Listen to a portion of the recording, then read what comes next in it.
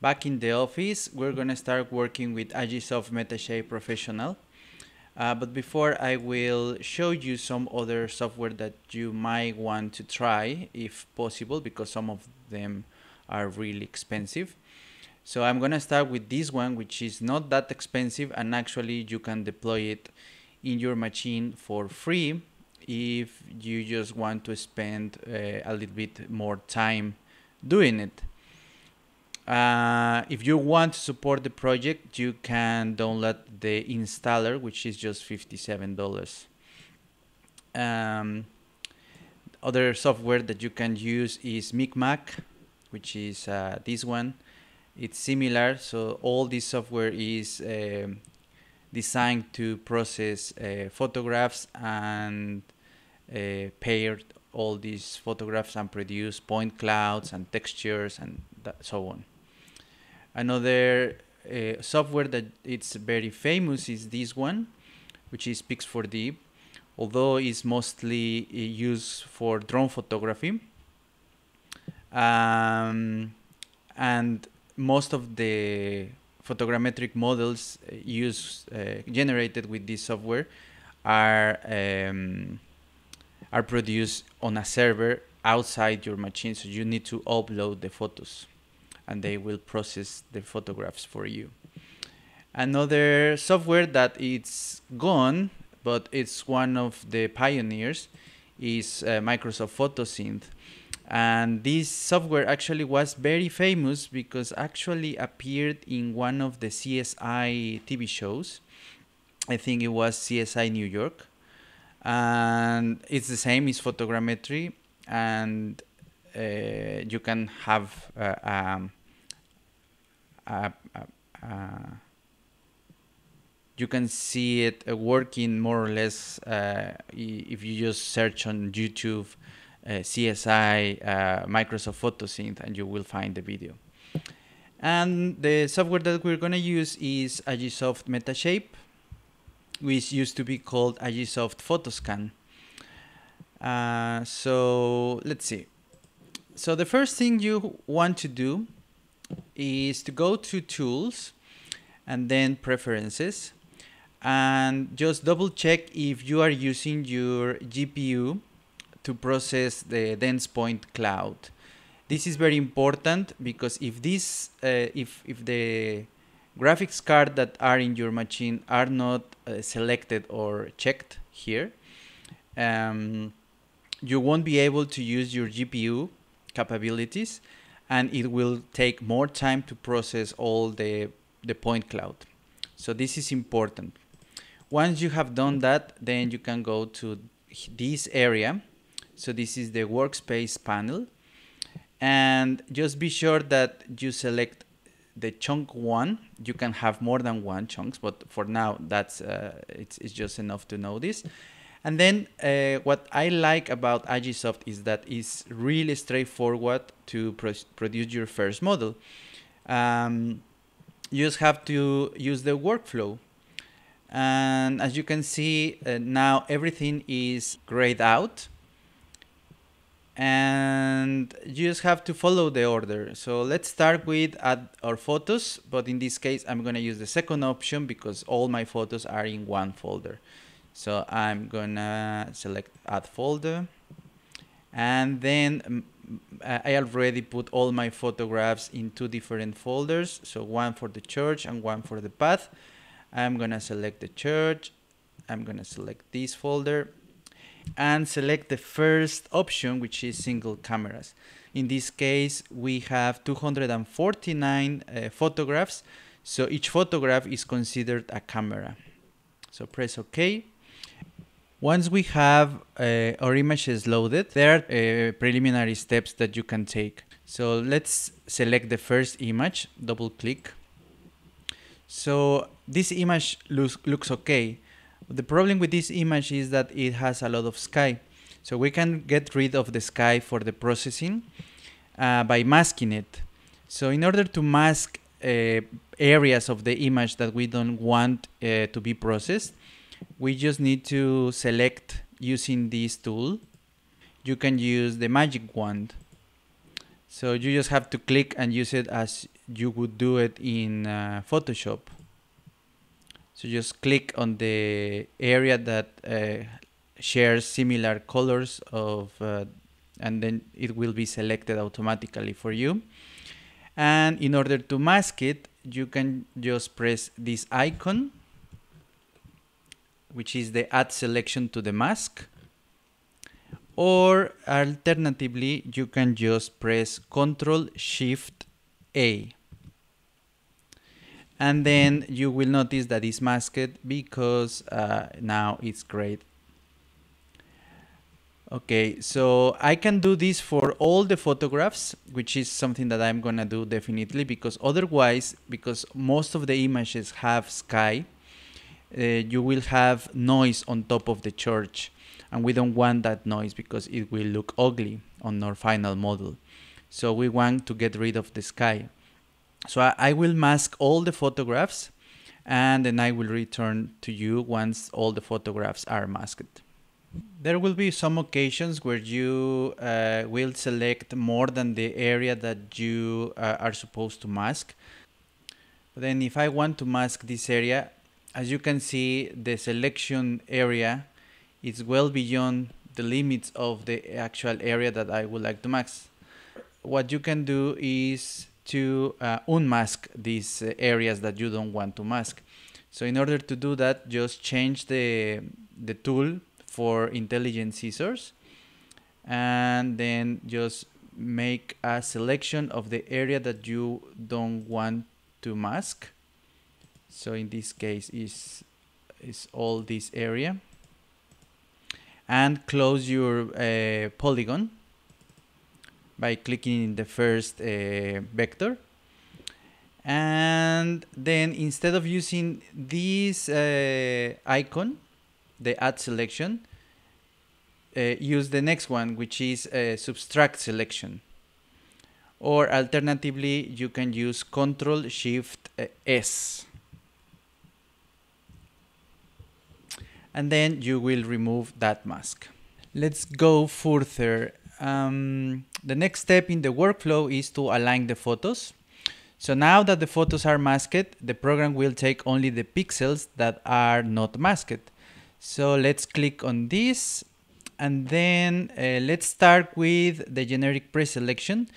This is um, one by one photographs, but uh, the program will take a sample of photos to compare with.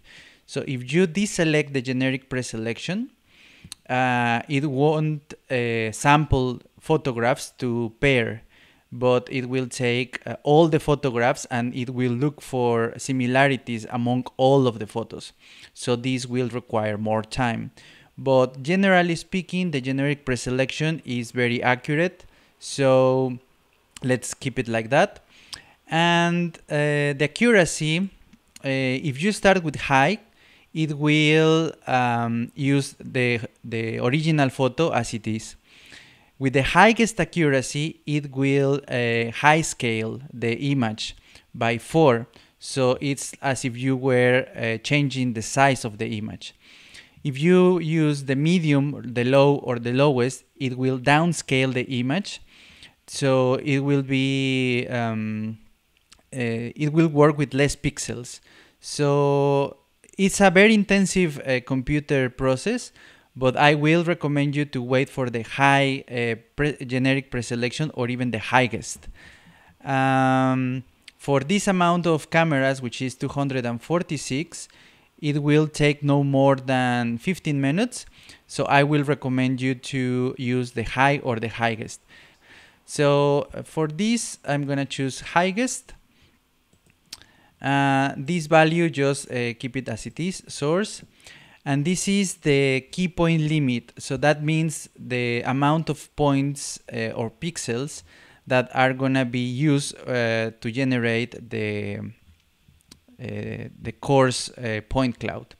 The other options that are faded out such as reference preselection um, or reset current alignment is only are gonna be available only the first one if your photographs are uh, reference already, so if, if they have uh, GPS information, and the reset uh, current alignment uh, it's going to be available only after you already aligned the photos. You can see the details here, uh, so how the, the process is going. And now, as you can see, the GPU is uh, in use. So that's good because uh, now it's going to be uh, faster. We just have to wait until the program finishes. Okay, finally it's done. Uh, as you can see, there's a message that says that some photos fail to align. This is not a problem and is completely normal. So we're just gonna press OK. And now we will see how many cameras are aligned. So it's 218 out of 246. So I think it's pretty nice. Um, as you can see, now we have a preliminary point cloud, which looks very, very nice. And since we remove all the, the sky, we don't have uh, too much noise on top of the of the church. So oh, we have a we have a gap of the roof. Actually, I missed to take photographs of that area. So now the next step is um, to put the markers. The process is as follows. You need to look at the markers in your photos. So in this case are the last photos. So let's start with, um, for instance, this photograph, which shows um, the first marker. And let's see if there's another one. So, oh, this one. This one shows the first, the second, and the third. So for the first one, uh, we're going to approach to the center of the marker and we're going to right click and we're going to add marker. And it's as simple as that. And since the photographs are already uh, aligned, you will see that once you put this point, if you select another photograph, so let's try with this one already the program uh, identified where is uh, positioned the, the marker. So if you just want to uh, put it more precisely, you just have to drag it to the point that it should be. And uh, all the, the photographs with um, blue flag, actually the program already detected uh, where the marker is. So to, to put the, the rest of the markers, you just have to do the same thing so this is the second one. So right click, add marker. And now in the same photograph, we can see the other marker, but we cannot see the center. So let's select another photo. Let's try this one. Okay, we can see the center here, add marker. And we can see the last one here, add marker. So it's as simple as that. Um, and now what we can do is to uh, put the, the measurements of these markers. So if we go to this panel and we go to reference, we will see that the markers is, are here. So by selecting two markers, the ones that we want to, to set up the, the distance, uh, so just press shift select the marker 1 and then the marker 2 and then right click and then uh, you have to select the option create scale bar. And as you can see the scale bar was created here and then you just have to set up the distance so from point 1 to point 2 the distance is 1 meter 22 centimeters. And we can set up the accuracy. So in this case, the accuracy is not in millimeters. So we can just say that it's uh, one centimeter, the accuracy. And we can do the rest uh, of the points the same way. So from point two to point three, right click, create a scale bar. And then the distance in this case is two meters and 92. the accuracy is the same. And then from point 3 to 0.4 and then right click, create a scale bar and then the distance is 2.81. And that's it. So now that we have created the, the distances, um, the, the model should be uh, corrected. But now what I'm going to show you is a technique where you can use the coordinates from Google Earth to set up uh, the georeference of this uh, model. So I noticed that there are at least three features that you can use to set up uh, coordinates that are visible from a satellite image. So for instance, in this uh, image, we have a like post. So I'm just gonna try to put a point in the bottom of this uh, post so right click, add marker. And I'm gonna check if there, the marker appears in another photograph, such as this one. So yeah, it's here. It's in the right position. And the other point is here. Add marker. Okay and then the other point is this one add marker okay so now we have three additional markers but we don't know the distance uh, let's see if these markers appear in a different photos. Okay we have this one. It's all right. Uh, this one is bad positioned but we can just correct it like this. And then we can move this here. So let's see if, if these points appear in, a, in another photo. No uh, let's try this one it's correct Uh, but let's see if there's another one. Oh, okay. For instance, this one. Let's move it here. And then let's try with another photo just uh, to, to finish. Okay, this is correct. This is correct and this is correct. Let's here. Yes, that's correct. Yeah, that's correct. So now that we are in Google Earth, we can um, take the coordinates of these points that are visible from our photogrammetry. So the first uh, like post is this one. Uh, so this is the the cord these are the coordinates that we need. So I'm gonna just uh, locate the this um, mark here so I'm gonna zoom in more. So more or less, I'm gonna put the point here, which is roughly the um, the center of this light post, and I'm gonna copy these coordinates. So easting, and I'm gonna add it to the um, 0.5, which is um, is this one. Oh, okay, I, I, I'm missing something. I need to set up the coordinate system that I want to use, which in this case is UTM. And um, so I'm gonna use the UTM zone 30.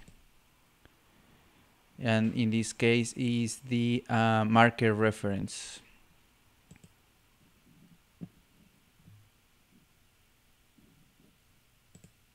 Uh, northing so I'm gonna put it here. Okay and then uh, I'm gonna move it to this post. So roughly there so easting and northing okay And then finally, the one that is crossing the road, which is this one.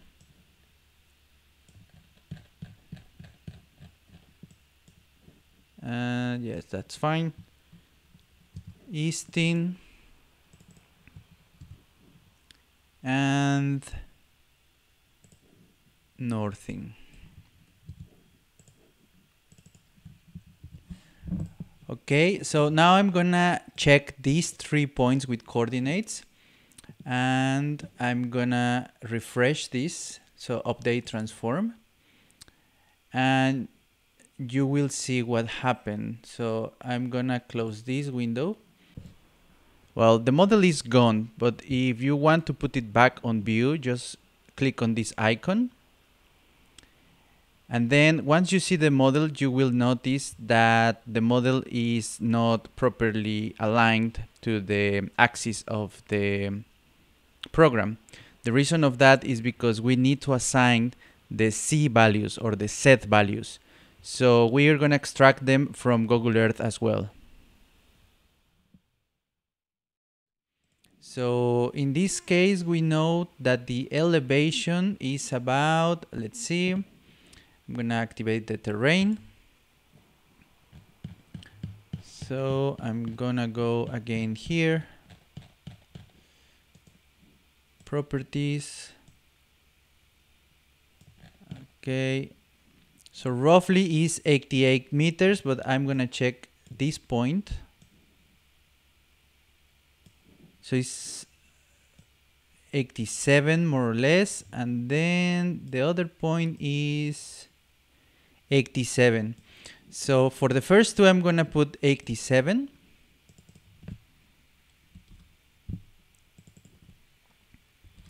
And for this one, I'm going to put 87.5 because I'm not sure it's one meter. So remember that this is uh, this is not accurate, but we uh, we can set up the, the coordinates. So I'm going to refresh this. And uh, yep yeah more or less there you go. And if you want to double check that you can go to this uh, uh, tab which is called ortho. And now the points are in the correct position as you can see here this is a satellite image okay now that we have set up these points um, we can actually make a trick for uh, to, to see if the altitude is correct. We can use the roof of the church to see if our model is leveled. To do that, we need to see the model from either side of um, the predefined views. So we can use left, right, front, or back. But the most important thing is that we have to put the roof uh, along the church parallel to the upper side of the model panel. So to do that, first change the view from perspective to orthographic. So this way we can avoid uh, distortions of the model so we can have an orthographic view. So now try to align the roof of the church to the upper side uh, of the panel. And if they are parallel that means that uh, your model is leveled. If they are not parallel that means that the model is uh, it has to be corrected using the the altitudes that we got from Google Earth I think this model is correct because you can see the slope in the street which you can perceive it in reality but uh, the roof is horizontal. And I think now we can proceed to create the dense point cloud now that we have set up the, the scales and the points. And uh, yep I think that's it now let's see how it goes so the next step uh, if you return to workspace and follow uh, continue the, the workflow the next step is build the dense cloud. And to save some time, I'm just gonna build a low quality uh, dense cloud. And the depth filtering, instead of moderate, I'm gonna put it uh, aggressive so we can have more detail in terms of the point cloud. That means that it will uh, cover a three-dimensional view of all the the model because if you um, use moderate or, or mild uh, it will have uh, preferences uh, preference for the orthographic um, position. So in this case as we are seeing it from above. And we're going to cal calculate the point colors so um, well before we do this let's gonna save this. And now let's build the point uh, the dense cloud. Okay that's correct. I'm gonna call aggressive and okay. And let's wait. Let's see how it goes. Again it's using the OpenCL. In this case it started with um, the Intel graphics but it's also using the um, the GeForce uh, graphic card that I have in my computer. So I'll return with you once it's finished. Okay, it's finished. So if you want to visualize the dense point cloud, you can just go to this icon and press it and then you will see it. And now if you want to see the um, one predefined view, you can just select top. And since now it's uh, georeferenced uh, you have the possibility to see it as it should on the space. Now there is a problem with this model and you will notice it. It doesn't have a tower. And the reason of that is because I forgot to to modify the region so the region is these uh, thin lines. I'm gonna make a zoom so you can see them better. So this is the region. And as you can see the region in the in the upper part, it's cutting the, the tower.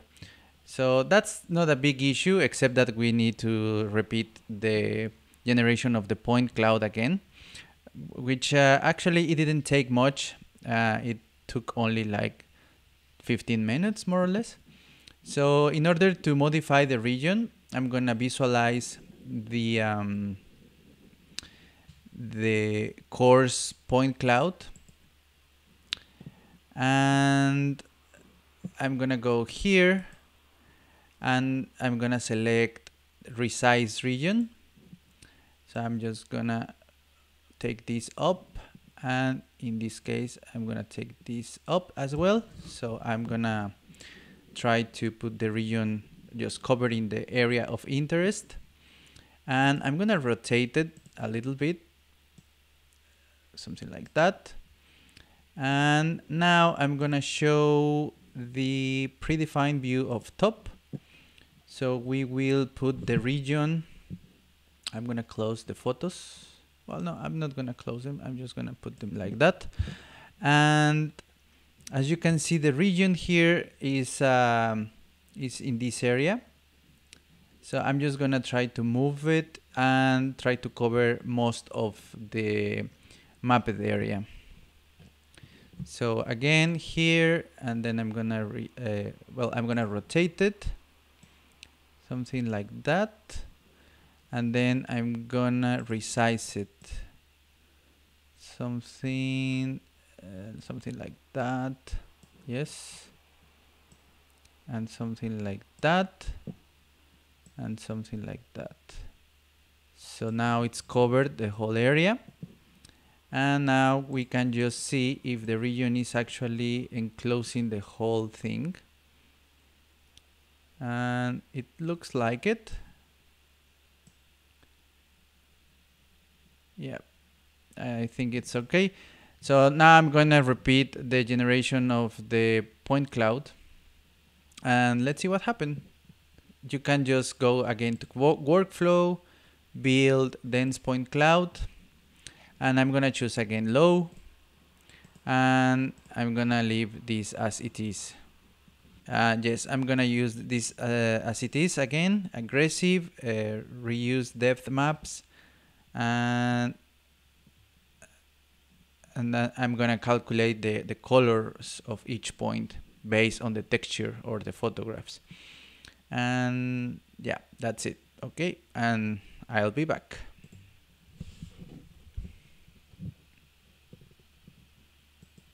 Okay, it's done. So uh, let's check. Okay, now we have the whole tower. And yeah, it's looking very good. There are some noise, as you can see here. And, also there are some noise here. But uh, this noise, it can be easily uh, erased. You just have to select it for instance let's get rid of these lines so you just have to go here select it and press delete and that's it. Okay um, there are some other points that are noisy here. So by selecting them we can just um, get rid of all these uh, points that we don't want in our final model. Or these ones this could be also related to the sky that uh, it wasn't properly masked and let's see um, if we rotate it like this we can see these ones Um, okay, let's get rid of this. Okay, I think we can work with that just for this exercise. You can go as detailed as you want. Uh, this big gap, it was a mistake that I committed because I forgot completely about this part of the church. So that was my mistake. Uh, but the model looks very nice. Now we can uh, produce our mesh which is um, just by following the workflow. So we're gonna build mesh and the source data is gonna be our dense cloud.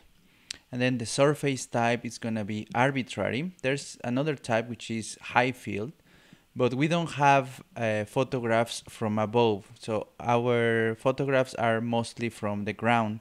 So we want to use uh, all the photographs, so that's arbitrary. And the face count is the number of faces that our mesh is gonna have. But uh, we want a low number of faces because otherwise our computer could crash uh, by just moving a little bit the model. So for this model, I'm gonna choose um, a medium. So uh, normally what Agisoft does is to produce a model with an unlimited number of faces. So every single um, point is considered.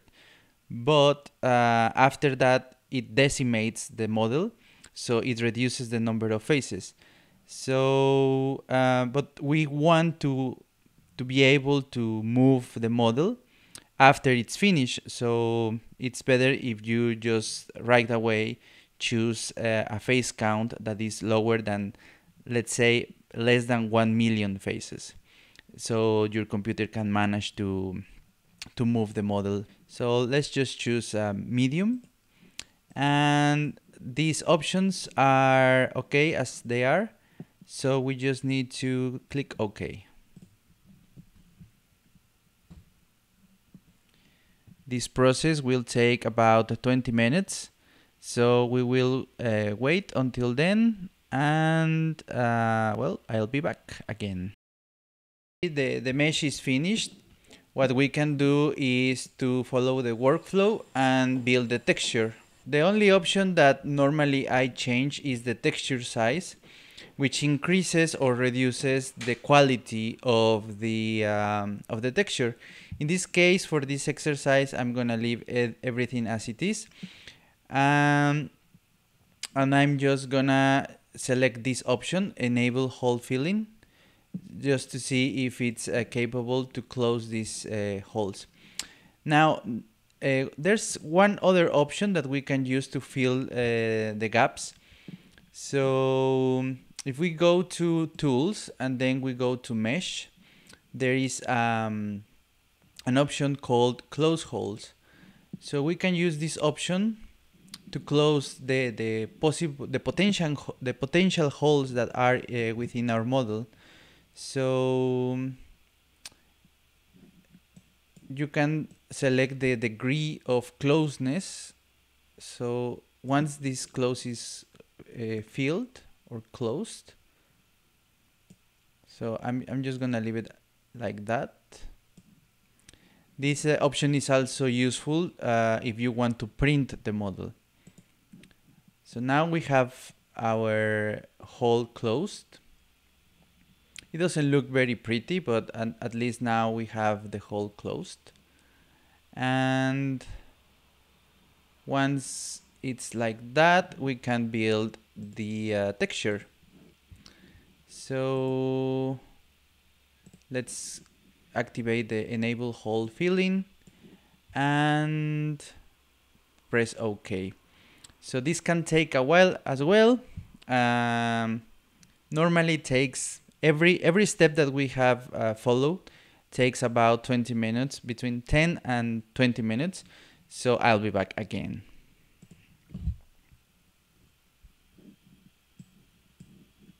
Once we finish the texturizing, we can visualize it by clicking in the arrow of this icon and select the model texture. So now we have almost the same image, but now with more quality. As you can see now, we if we go closer to our model, we can see that we have um, a better depiction of it.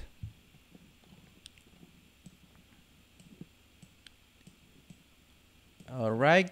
And finally, what we can do is to follow in the workflow and build a DEM.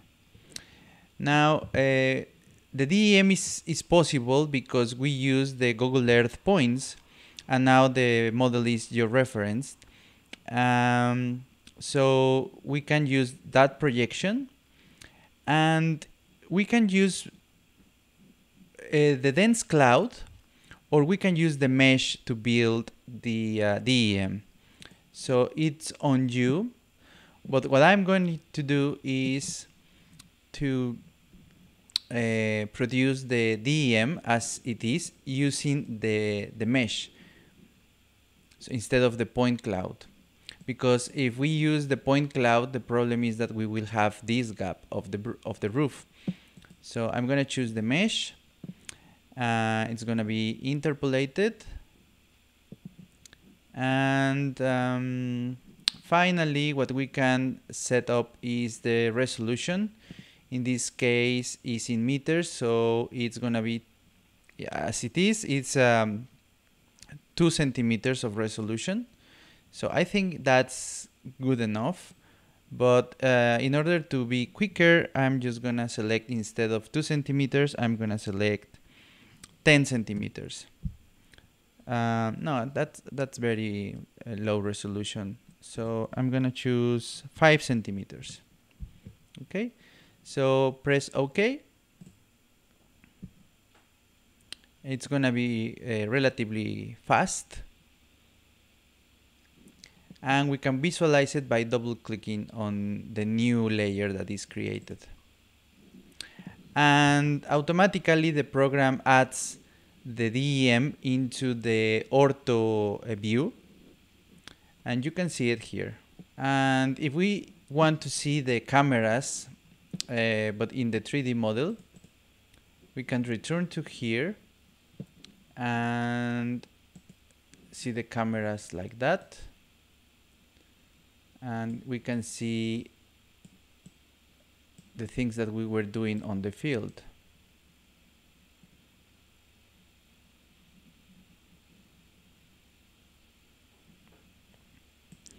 Well, after the DEM, what we can do also is to create the orthomosaic. So we're going to use the same coordinate system. The surface in this case is going to be the DEM. That's okay. And the blending mode is going to be mosaic. It's the default method. And we're going to enable the hole filling. And yeah, that's it. That's it. And the pixel size going to be uh, one centimeter.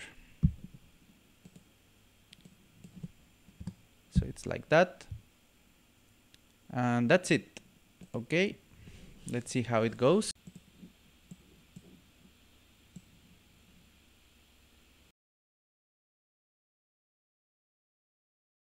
Okay it's finished and we can double click on the new layer that was created the ortho mosaic and we can see the ortho mosaic as it was created. These lines that you can see that are black are these ones that are called the seam lines but we can get rid of that. If we are have a close-up here you can see our reference marks and the other thing that you can do with this uh, model is to measure. So if you use this uh, icon which is the ruler and you measure the distance from here to here well it's the same distance that we set up for these markers. If you go to reference and see the distance from point 1 to point 2 is 1.22 so it's the same distance here um, and you can also make measurements of this kind here, for instance, how how big is the tower or the chapitel.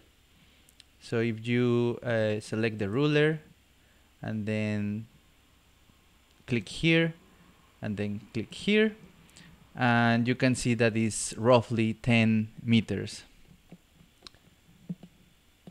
I'm gonna get rid of the cameras and I'm going to rotate the model so how big is the church? You can measure that quickly by using the same means. So let's suppose like that. So how big is the wall from here to here? Seven meters. And then let's see from here. Oh, I'm gonna get rid of that. I'm gonna put the ruler. So from here to here, the church is about 25 meters. So now you can make measurements, but also you can uh, see the profile of the of the church. Uh, this is a quick technique. Just grab the point, uh, the dense cloud, and now just rotate your model like that. And let's gonna see the model from above.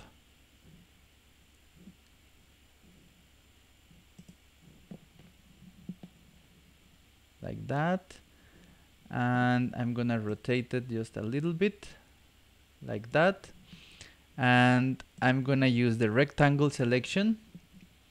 So I'm gonna make a section here.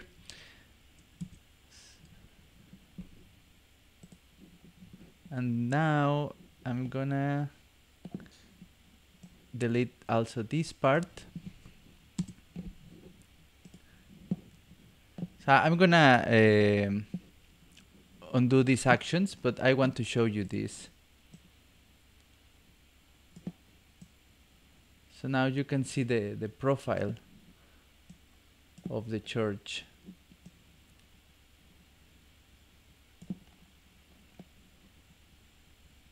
So that's another uh, use that you can make of your model so you can make profiles using the point cloud. And then um, if I right click on the DEM for instance, and I export it, I, uh, you have several options to do that. So I'm going to export it as a TIFF.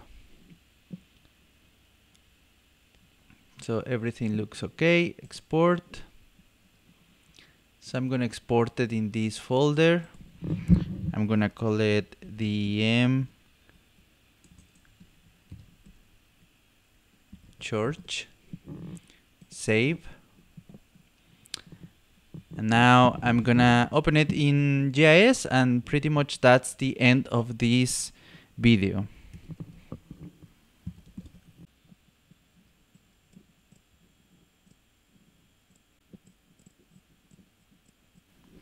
So here we have the DEM. You can see uh, exactly the the church and well you can manage the DEM as you will do it with any other DEM so for instance if we put a hill shade it will look like that.